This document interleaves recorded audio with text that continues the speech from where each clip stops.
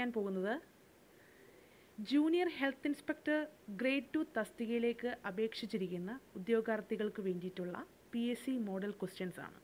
Communicable ഡിസീസിലെ ഏറ്റവും important ആയിട്ടൊരു പോർഷനാണ് ഈഡിസ് മോസ്കിറ്റോ ട്രാൻസ്മിറ്റഡ് അതേപോലെ തന്നെ ഇത്തരത്തിലുള്ള മോസ്കിറ്റോകളെ എങ്ങനെ കൺട്രോൾ ചെയ്യാം എന്നതും കൂടെ നമ്മൾ ഇന്നത്തെ ടോപ്പിക്കിൽ ഉൾപ്പെടുത്തുന്നുണ്ട്.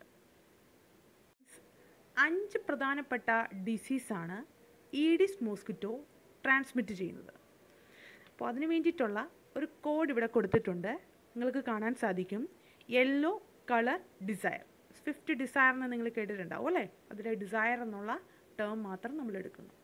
യെല്ലോ കളർ ഡിസയർ അപ്പോൾ അതിലെ യെല്ലോ റെപ്രസെന്റ് ചെയ്യുന്നത് യെല്ലോ ഫീവറിനെയാണ് അപ്പോൾ ഈഡിസ് മോസ്കിറ്റോ ട്രാൻസ്മിറ്റ് ചെയ്യുന്ന ഒന്നാമത്തെ ഡിസീസ് യെല്ലോ ഫീവർ അപ്പോൾ യെല്ലോ കളർ ഡിസയർ നിങ്ങൾക്ക് അവിടെ ഒരു ഫിഗർ കാണാൻ സാധിക്കും. യെല്ലോ കളർ ഡിസയറിന്റെ ഒരു പിക്ചർ ഓക്കെ അപ്പോൾ യെല്ലോ യെല്ലോ ഫീവർ ആൻഡ് കളറിലെ സി റെപ്രസെന്റ് ചെയ്യുന്നത് ചിക്കൻ ഗുനിയ അപ്പോൾ ചിക്കൻ ഗുനിയ ഫീവറാണ് കളറിലെ സി റെപ്രസെന്റ് ചെയ്യുന്നത്. ഇനി ഡിസയറിലെ ഡി റെപ്രസെന്റ് ചെയ്യുന്നത് dengue fever and Z represent ചെയ്യുന്നത് Zika fever and R represent ചെയ്യുന്നത് റിഫ്റ്റ് വാലി ഫീവർ അങ്ങനെ പ്രധാനപ്പെട്ട അഞ്ച് ഡിസീസുകളാണ് ഈഡിസ് മോസ്കിറ്റോ ട്രാൻസ്മിറ്റ് ചെയ്യുന്നത്. ക്ലിയർ ആയെന്ന് വിശ്വസിക്കുന്നു.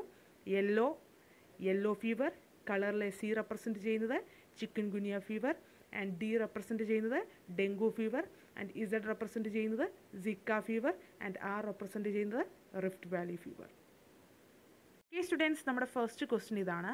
Which one of the following mosquito is known as tiger mosquito താഴെ പറയുന്നവയിൽ ഏതാണ് ടൈഗർ മോസ്കിറ്റോ എന്ന് അറിയപ്പെടുന്നത്? അപ്പോൾ ഓൾറെഡി നമുക്കവിടെ ഫിഗർ കാണിച്ചിട്ടുണ്ട്. ടൈഗർ മോസ്കിറ്റോ എന്നറിയപ്പെടാൻ കാരണം ഇത്തരത്തിലുള്ള മോസ്കിറ്റോയുടെ ശരീരഭാഗങ്ങളിലായിട്ട് വെള്ള പുള്ളി നിറത്തിലുള്ള ലൈൻ കാണാൻ സാധിക്കും. അപ്പോൾ ഈഡിസ് മോസ്കിറ്റോ ആണ് ടൈഗർ മോസ്കിറ്റോ ആയിട്ട് അറിയപ്പെടുന്നത്. ഓക്കെ സ്റ്റുഡൻസ് നമ്മുടെ സെക്കൻഡ് ക്വസ്റ്റ്യൻ ഇതാണ്. Incubation period of yellow fever നമുക്കറിയാം യെല്ലോ ഫീവർ എന്ന ഡിസീസ് ട്രാൻസ്മിറ്റ് ചെയ്യുന്നത് ഈഡിസ് മോസ്കിറ്റോ ആണ്. ഈ പറയുന്ന യെല്ലോ ഫീവറിന്റെ ഇൻക്യുബേഷൻ ആണ് ചോദിച്ചിരിക്കുന്നത്. ത്രീ ടു സിക്സ് ഡേയ്സ് ആണ് യെല്ലോ ഫീവറിന്റെ ഇൻക്യുബേഷൻ പീരീഡായിട്ട് നമ്മൾ കണക്കാക്കുന്നത്. Three to six days okay the third question is approved vaccine against yellow fever അപ്പോൾ യെല്ലോ ഫീവറിനെതിരായി നമ്മൾ യൂസ് ചെയ്യുന്ന വാക്സിൻ ഏതെന്നാണ് ചോദിച്ചിരിക്കുന്നത്? അതിന്റെ answer is seventeen D vaccine P S C ക്വസ്റ്റിനായിട്ട് വന്നിട്ടുള്ള ചോദ്യമാണ്. നിങ്ങൾ ഇത് പഠിക്കണം. Answer is seventeen D vaccine okay our fourth question is causative agent of yellow fever yellow fever ഉണ്ടാക്കുന്ന രോഗാണു ഏതാണെന്നാണ് ചോദിച്ചിരിക്കുന്നത്? അപ്പോൾ അതിന്റെ ഉത്തരം ഫ്ലേവി വൈറസ് ഫിബ്രിക്കസ് ആണ് our fifth question is flight range of Aedes mosquito Aedes മോസ്കിറ്റോയ്ക്ക് എത്ര റേഞ്ചിൽ ഉയർന്നു പറക്കാൻ സാധിക്കുമെന്നാണ് ചോദിച്ചിരിക്കുന്നത്? Answer is less than hundred metre നൂറ് മീറ്ററിൽ താഴെ മാത്രമേ ഈഡിസ് മോസ്കിറ്റോയ്ക്ക് പറക്കാൻ സാധിക്കുകയുള്ളൂ എന്നുള്ള കാര്യം ഓർത്തു വെക്കുക. Students our six question is the distance of from airport or sea port which has to be kept free from Aedes mosquito is dash അതായത് ഈഡിസ് കൊതുകുകൾ എയർപോർട്ടിൽ നിന്നോ സീ പോർട്ടിൽ നിന്നോ വിമുക്തമാണെന്ന് ഉറപ്പുവരുത്തേണ്ട ദൂരം.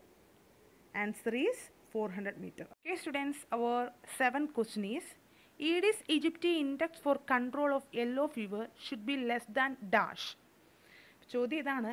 യെല്ലോ ഫീവർ നിയന്ത്രിക്കുന്നതിനായി ഈഡിസ് ഈജിപ്റ്റി ഇൻഡെക്സ് അഥവാ സൂചിക എത്രയിൽ താഴെ ആയിരിക്കണം എന്നാണ് ചോദ്യം. അപ്പോൾ answer is one okay next question is incubation period of chikungunya fever chicken ഗുനിയയും ഈഡിസ് മോസ്കിറ്റോ ട്രാൻസ്മിറ്റ് ചെയ്യുന്ന ഡിസീസ് ആണെന്നുള്ള ഓർമ്മയുണ്ടാകണം. ചോദിച്ചിരിക്കുന്നത് എന്താണ്? ചിക്കൻ ഗുനിയ ഫീവറിന്റെ ഇൻക്യുബേഷൻ ആണ് ചോദിച്ചിരിക്കുന്നത്. Answer is four to seven days okay students our nine question is the predominant symptom of chikungunya fever അതായത് chikungunya ഫീവറിന്റെ പ്രധാനപ്പെട്ട രോഗലക്ഷണം എന്താണെന്നാണ് ചോദിച്ചിരിക്കുന്നത്. പ്രധാനപ്പെട്ട രോഗലക്ഷണം. പ്രിഡൊമിനന്റ് സിംറ്റം എന്നാൽ പ്രധാനപ്പെട്ട രോഗലക്ഷണം. താഴെ പറയുന്നവയിലെല്ലാം രോഗലക്ഷണങ്ങൾ തന്നെയാണ്. എന്നാൽ ആർത്രോപ്പതിയാണ് ഏറ്റവും പ്രധാനപ്പെട്ട ചിക്കൻ കുനിയയുടെ രോഗലക്ഷണമായിട്ട് നമ്മൾ പരിഗണിക്കാറുള്ളത്. ആർത്രോപ്പതി എന്നാൽ ജോയിൻസിനുണ്ടാകുന്ന പ്രധാനപ്പെട്ട ഡിസീസിനെയാണ് നമ്മൾ ആർത്രോപ്പതി ഗണത്തിനകത്ത് പെടുത്താറുള്ളത്. Students our ten question is the word chikungunya means dash chikungunya എന്ന വേർഡ് ഒരു ആഫ്രിക്കൻ വേർഡാണ് ഇതിന്റെ അർത്ഥം doubling up or bend over എന്നാണ്. അപ്പോൾ doubling up or bend over അപ്പോൾ ഇവിടെ ഞാൻ ഡബിളിങ് അപ്പ് മാത്രമേ കൊടുത്തിട്ടുള്ളൂ. അഥവാ ബെൻഡ് ഓവർ എന്ന ഉത്തരം കൂടെ നമുക്ക് ഇതിനകത്ത് ഉൾപ്പെടുത്താം. ക്ലിയർ ആയെന്ന് വിശ്വസിക്കുന്നു. Okay students our eleven question is the main vector of dengue fever അപ്പോൾ ഡെങ്കു ഫീവർ ട്രാൻസ്മിറ്റ് ചെയ്യുന്നത് ഈഡിസ് മോസ്കിറ്റോ ആണെന്നുള്ള കാര്യം നമുക്കറിയാവുന്നതാണ്. പക്ഷേ താഴെ പറയുന്ന സ്പീഷ്യസിൽ ഡെങ്കു ഫീവർ ട്രാൻസ്മിറ്റ് ചെയ്യുന്ന മോസ്കിറ്റോ ഏതാണെന്നാണ് ചോദിച്ചിരിക്കുന്നത്. അപ്പോൾ അവിടെ ഈഡിസ് ഈജിപ്റ്റ് കൊടുത്തിട്ടുണ്ട് ഈഡിസ് ആൽബോപിക്ടസ് കൊടുത്തിട്ടുണ്ട് ഈഡിസ് ആഫ്രിക്കാനസ് കൊടുത്തിട്ടുണ്ട്. ക്ലിയർ ആയിട്ട് ഉത്തരം ഞാൻ അവിടെ കൊടുത്തിട്ടുണ്ട്. ഈഡിസ് ഈജിപ്റ്റിയാണ് ഡെങ്കു ഫീവറിനെ ട്രാൻസ്മിറ്റ് ചെയ്യുന്നത്. Okay our next question is incubation period of dengue fever dengue ഫീവറിന്റെ incubation period ആണ് ചോദിച്ചിരിക്കുന്നത്. ത്രീ ടു ടെൻ ഡേയ്സ് ആണ് ഡെങ്കു ഫീവറിന്റെ ഇൻകുബേഷൻ പീരീഡായിട്ട് മനസ്സിലാക്കേണ്ടത്. Okay students thirteenth question is classification of dengue in balls അതായത് dengue ഫീവറിനെ നമ്മൾ മൂന്നായിട്ടാണ് ക്ലാസിഫൈ ചെയ്യാറുള്ളത്. ഒന്നാമത്തത് ക്ലാസിക്കൽ ഡെങ്കു ഫീവർ രണ്ടാമത്തത് ഡെങ്കു ഹെമറാജിക് ഫീവർ മൂന്നാമത്തത് ഡെങ്കു ഷോക്ക് സിൻഡ്രം അപ്പോൾ ഇത് മൂന്ന് ഉൾപ്പെടുത്തണമെന്നുണ്ടെങ്കിൽ നാലാമത്തെ ഓപ്ഷനാണ് നമ്മൾ സെലക്ട് ചെയ്യേണ്ടത് all of the above clear ആയെന്ന് വിശ്വസിക്കുന്നു. Our fourteenth question is which of the classified dengue fever is known as bone break fever മുൻപ് സൂചിപ്പിച്ച ക്വസ്റ്റ്യനിൽ നമ്മൾ പറഞ്ഞിരുന്നു. ഡെങ്കു ഫീവറിനെ മൂന്നായി ക്ലാസിഫൈ ചെയ്തിട്ടുണ്ടായിരുന്നു. Classical dengue fever dengue haemorrhagic fever and dengue shock syndrome അപ്പോൾ ഈ മൂന്നെണ്ണത്തിൽ ഏത് ക്ലാസിഫൈഡ് ഡെങ്കു ഫീവറാണ് ബോൺ ബ്രേക്ക് ഫീവറായിട്ട് അറിയപ്പെടുന്നത്? Answer is classical dengue fever അതിന് കാരണം എല്ലുകൾക്ക് ശക്തമായ വേദന ഉണ്ടാകുന്നത് കൊണ്ടാണ് ഇത്തരത്തിലുള്ള ഡെങ്കു ഫീവറിനെ ബോൺ ബ്രേക്ക് ഫീവറായിട്ട് അറിയപ്പെടുന്നത്. Okay our fifteenth question is how many viruses are dengue related with dengue fever ഉണ്ടാക്കുന്ന എത്ര വൈറസുകൾ ഉണ്ട് എന്നാണ് ചോദിച്ചിരിക്കുന്നത്. Answer is four DEN V one DEN V two DEN V three DEN V four അങ്ങനെ നാല് തരത്തിലുള്ള നാല് ജനിതക ഘടനയുള്ള വൈറസുകളാണ് ഡെങ്കു ഫീവർ ഉണ്ടാക്കുന്നതായിട്ട് മനസ്സിലാക്കാൻ സാധിക്കുന്നത്. ഓക്കെ നെക്സ്റ്റ് ക്വസ്റ്റ്യൻ ഈസ് ഇത് characteristic symptoms of dengue haemorrhagic fever അപ്പം ഡെങ്കു ഹെമറാജിക് ഫീവറിന്റെ പ്രധാനപ്പെട്ട സിംറ്റംസ് ഏതൊക്കെയാണെന്നാണ് ചോദിച്ചിരിക്കുന്നത്. താഴെ പറയുന്നവയിൽ മൂന്ന് പ്രധാനപ്പെട്ട പോയിന്റുകൾ കൊടുത്തിട്ടുണ്ട്. ഒന്ന് പ്ലേറ്റ്ലെറ്റ് കൗണ്ട് ഒരു ലക്ഷത്തിൽ താഴെ വരിക. അതേപോലെ തന്നെ ടോർണിക്കറ്റ് ടെസ്റ്റ് പോസിറ്റീവ് ആകുക. അതേപോലെ തന്നെ ഹെമാറ്റോക്രിറ്റ് റേഷ്യോ റൈസ് ചെയ്യുന്നതായിട്ട് കാണാൻ സാധിക്കും. അതായത് ഗ്രേറ്റർ ദാൻ ട്വന്റി പെർസെന്റേജിലേക്ക് വരുന്നതായിട്ട് കാണാൻ സാധിക്കും. ഹെമാറ്റോക്രിറ്റ് റേഷ്യോ എന്ന് പറഞ്ഞു കഴിഞ്ഞാൽ റെഡ് ബ്ലഡ് സെൽസും അതേപോലെ തന്നെ ടോട്ടൽ വോളിയൂം ഓഫ് ബ്ലഡും തമ്മിലുള്ള റേഷ്യോനെയാണ് ഹെമാറ്റോക്രിറ്റ് റേഷ്യോ എന്ന് പറയുന്നത്. ഈ മൂന്ന് പ്രധാനപ്പെട്ട സിംറ്റംസും ഡെങ്കു ഹെമറാജിക് ഫീവറിൽ കാണിക്കുന്നുണ്ട്. അപ്പോൾ നമ്മുടെ answer is all of the above okay our seventeenth question is dengue shock syndrome is characterised by the following except താഴെ പറയുന്നവയെ ഒരു സിംറ്റം ഒഴികെ ബാക്കി മൂന്ന് സിംറ്റമും ഡെങ്കു ഷോക്ക് സിൻഡ്രത്തിൽ ക്യാരക്ടറൈസ് ചെയ്ത് വരുന്നതാണ്. എക്സെപ്റ്റഡ് ആയിട്ടുള്ള സിംറ്റം ഏതാണെന്നാണ് ചോദിച്ചിരിക്കുന്നത്. ആൻസർ ഈസ് ഹെപ്പാറ്റോമെഗലി ടക്കിക്കാടിയും ബ്രെയിൻ പെർഫ്യൂഷനും പ്ലാസ്മ ലീക്കേജും ഈ മൂന്ന് പ്രധാനപ്പെട്ട സിംറ്റംസും ഡെങ്കു ഷോക്ക് സിൻഡ്രത്തിൽ ക്യാരക്ടറൈസ് ആയിട്ട് വരുന്നതാണെന്നുള്ള കാര്യം ഓർത്തു വെക്കുക.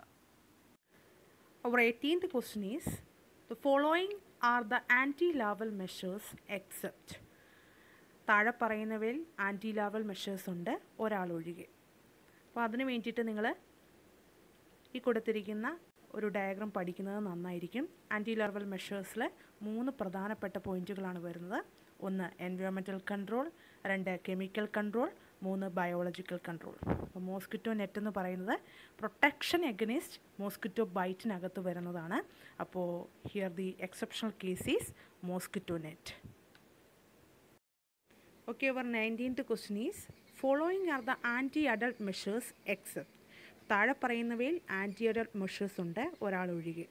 അപ്പം അതിന് വേണ്ടിയിട്ട് വീണ്ടും നമുക്ക് ഇതുപോലൊരു ഡയഗ്രാം ഓർത്ത് വെക്കുന്നത് നന്നായിരിക്കും. ആന്റി അഡൾട്ട് മെഷേഴ്സിനകത്ത് വരുന്നത് ഒന്ന് സ്പേസ് സ്പ്രേ രണ്ട് റെസിഡ്യൂവൽ സ്പേസ് മൂന്ന് ജനറ്റിക് കൺട്രോൾ അപ്പോൾ നാലാമത്തെ സ്ക്രീനിങ് എന്നുള്ളതാണ് ഇവിടെ എക്സെപ്ഷണൽ കേസായിട്ട് വരുന്നത്. അപ്പോൾ സ്ക്രീനിങ് എന്നുള്ളത് പ്രൊട്ടക്ഷൻ എഗനിസ്റ്റ് മോസ്കിറ്റോ ബൈറ്റിൽ ഇൻക്ലൂഡ് ചെയ്യുന്ന ഒരു ഫാക്ടറാണ്. Okay here the twenty question mineral oils are used in mosquito control measures as a personal protection method larvicide adulticide or space spray here the answer is larvicide കാരണം നമ്മൾ പോൺസിലും ലേക്കിലുമുള്ള വെള്ളത്തിലേക്ക് mineral oil apply ചെയ്യുന്നത് വഴി കൊതുകിന്റെ ലാർവകളാണ് ചത്തുപോകുന്നത്. അപ്പോൾ അതുകൊണ്ട് തന്നെ mineral oil ഒരു ലാർവിസൈഡായിട്ടാണ് നമ്മൾ യൂസ് ചെയ്യുന്നത്.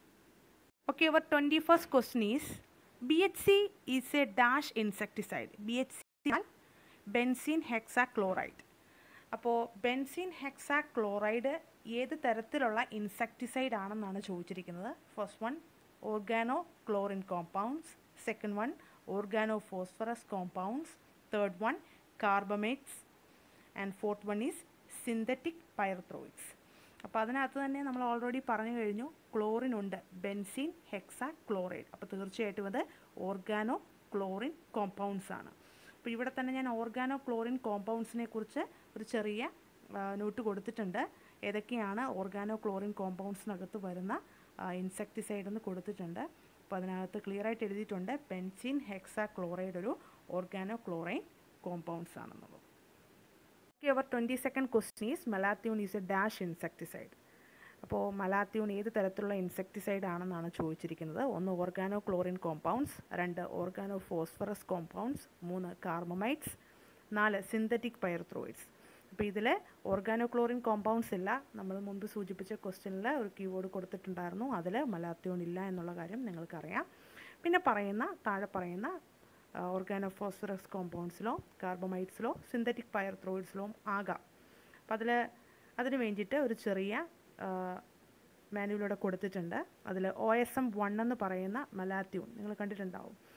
അത് ഒരു ഓർഗാനോ ഫോസ്ഫറസ് ഇൻസെക്ടിസൈഡ് ആണെന്നുള്ളത് മനസ്സിലാക്കാൻ സാധിക്കുന്നുണ്ട്. Here the answer is organophosphorus compounds okay students Paris green is used to eliminate the larvae of dash നമ്മുടെ ട്വന്റി തേർഡ് ക്വസ്റ്റ്യൻ ആണിത്.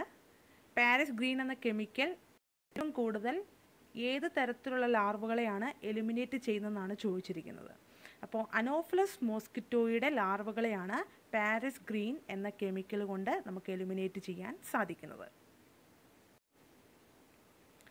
Okay our twenty fourth question is Paris green is a dash poison Paris green എന്ത് തരത്തിലുള്ള poison ആണെന്നാണ് ചോദിച്ചിരിക്കുന്നത്.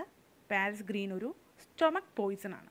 അതായത് insecticide Paris green പോലെയുള്ള chemical adjust ചെയ്ത് കഴിഞ്ഞാൽ സ്റ്റൊമക് പോയിസൺ ആയിട്ടാണ് മാറുന്നത്.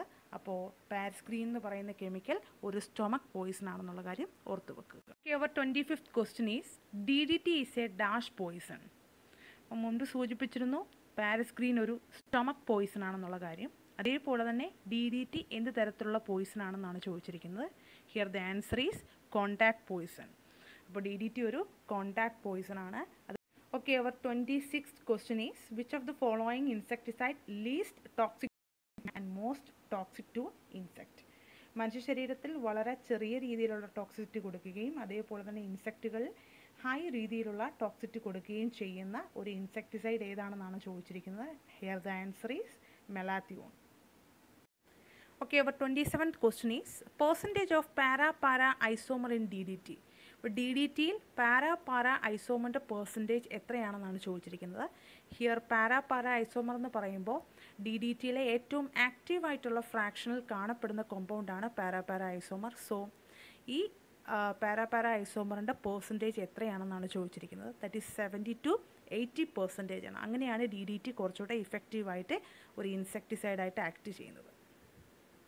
ഓക്കെ അപ്പോൾ twenty eight question is natural insecticide among the following is ഇപ്പോൾ പ്രകൃതിദത്തമായിട്ട് നമുക്ക് ലഭിക്കുന്ന ഒരു ഇൻസെക്ടിസൈഡ് ഏതാണെന്നാണ് ചോദിച്ചിരിക്കുന്നത്? പൈരുത്രമാണ് കാരണം പൈരുത്രം ഒരു വെജിറ്റബിൾ ഓറിജിനാണ് അതായത് ക്രിസാന്തമം എന്ന് പറയുന്ന കാശ്മീരിൽ കൾട്ടിവേറ്റ് ചെയ്യുന്ന ഒരു ഫ്ലവറിൽ നിന്ന് എക്സ്ട്രാക്റ്റ് ചെയ്തെടുക്കുന്ന ഒരു ഇൻസെക്ടിസൈഡാണ് പൈരുത്രം അതുകൊണ്ട് തന്നെ പൈരുത്രം ഒരു നാച്ചുറൽ ഇൻസെക്ടിസൈഡ് ആണെന്ന് പറയാൻ സാധിക്കും. Okay, our 29th question is number of holes per square inch of a selected mosquito net. അപ്പോൾ ഒരു മോസ്കിറ്റോ നെറ്റിൽ സ്ക്വയർ ഇഞ്ചിൽ ഒരു സ്ക്വയർ ഇഞ്ചിൽ എത്ര ഹോൾസ് ഉണ്ടാകുമെന്നാണ് ചോദിച്ചിരിക്കുന്നത്? Here the answer is one fifty okay thirtieth question is mosquito net hole diameter should be അതായത് മോസ്കിറ്റോ നെറ്റിന്റെ ഒരു ഹോളിന്റെ ഡയമീറ്റർ എത്രയായിരിക്കണമെന്നാണ് ചോദിച്ചിരിക്കുന്നത്? That is the answer is zero point zero four seven five inch ആയിരിക്കണം mosquito നെറ്റിന്റെ ഒരു ഹോളിന്റെ ഡയമീറ്റർ എന്നുള്ളത്. ഇന്നത്തെ ക്വസ്റ്റ്യൻസ് ഒക്കെ നിങ്ങൾക്ക് ക്ലിയർ ആയെന്ന് വിശ്വസിക്കുന്നു. നിങ്ങൾക്ക് ഈ ക്വസ്റ്റ്യൻസ് ഒക്കെ ഉപകാരപ്പെട്ടെങ്കിൽ ഷെയർ ചെയ്യുക ലൈക്ക് ചെയ്യുക കമന്റ് ചെയ്യുക. നിങ്ങൾക്ക് വേണ്ട പോർഷൻസ് നിങ്ങൾ താഴെ കമന്റ് ബോക്സിൽ റിപ്ലൈ ആയി ഇടുക. അപ്പോൾ അതിനനുസരിച്ച് ക്വസ്റ്റ്യൻസ് ഞാൻ മേക്ക് ചെയ്യുന്നതായിരിക്കും.